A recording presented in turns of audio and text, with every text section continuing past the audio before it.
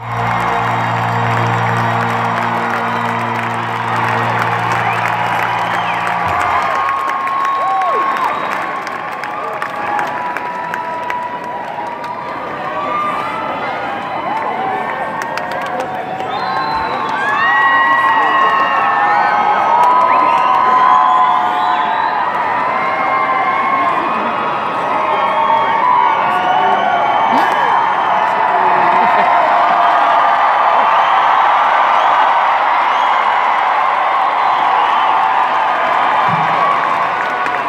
Thank you so much for having us, Minneapolis.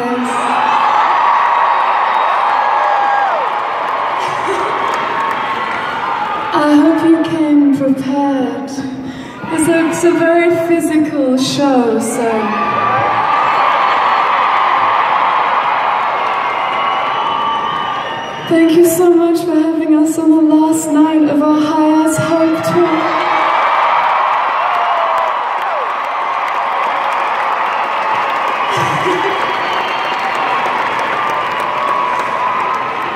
It's been such a profound experience for me this tour and thank you so much to everyone who came to other shows and thank you for coming to this show tonight.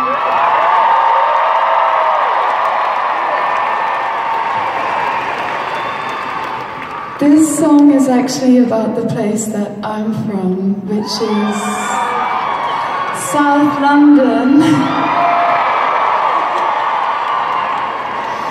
And it is about some particularly, uh, I grew up there, so it's about some, it's kind of a wayward child.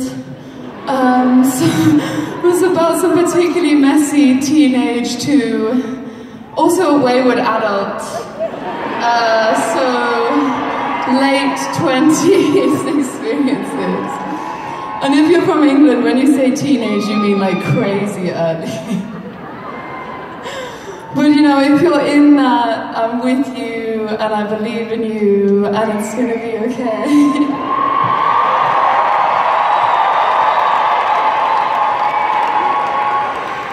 um, speaking of complicated times, I'm sure like a lot of you here, my heart hurts a lot at the moment for many different reasons, like I'm sure a lot of yours do at this time. But I just want to say, please keep doing good in the ways that you can. Please keep showing up. Do not give up hope. Do not think that what you're doing is too little or it won't make a difference because hope is an action. And it would be easy to think that, you know, you're just one person and what difference does it make, but a revolution in consciousness starts with individuals. And that's you guys.